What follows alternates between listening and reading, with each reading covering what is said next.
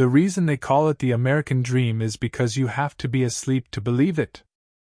Political correctness is America's newest form of intolerance, and it is especially pernicious because it comes disguised as tolerance. Presbyterianism is the belief that when you die, your soul goes up on the roof and gets stuck. Religion has actually convinced people that there's an invisible man living in the sky who watches everything you do, every minute of every day. And the invisible man has a special list of 10 things he does not want you to do. And if you do any of these 10 things, he has a special place, full of fire and smoke and burning and torture and anguish, where he will send you to live and suffer and burn and choke and scream and cry forever and ever till the end of time. But he loves you.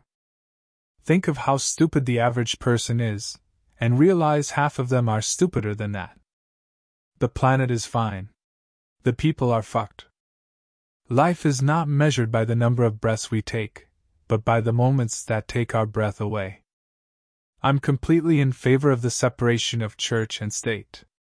My idea is that these two institutions screw us up enough on their own, so both of them together is certain death.